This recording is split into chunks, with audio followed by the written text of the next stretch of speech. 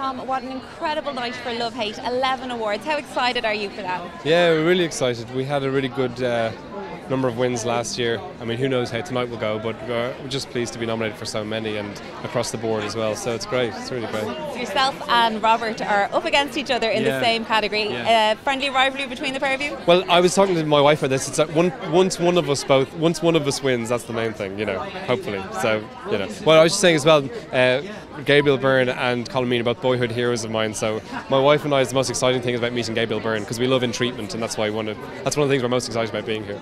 Amazing. And we're all so excited ourselves because Series 4 has just been confirmed, so we know it's coming back. Yes. So what we want to know is what you know about Series 4.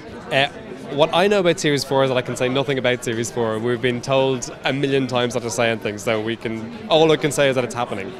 So that's all. And we know as little, in a way, as little as anyone knows, because everything's kept kind of last minute and things are tight, so we'll see. Is it hard though to see people like Robert Sheehan leave the series? Yeah, it's really tough. Uh, Aidan in the second series and now Robert, leaders, you know, on and off set, and you know, great actors to be around. And it's really, you know, if if the audience feel the loss, we feel the loss greatly too. And it'll be really quite, you know, something not having, especially Robert there next year. You know, I really miss him. You know, Um, the nation was glued to Love Hate this year. What TV program do you watch? uh, in treatment, obsessed by the usuals, Breaking Bad, Mad Men. They're our big ones, really. You know.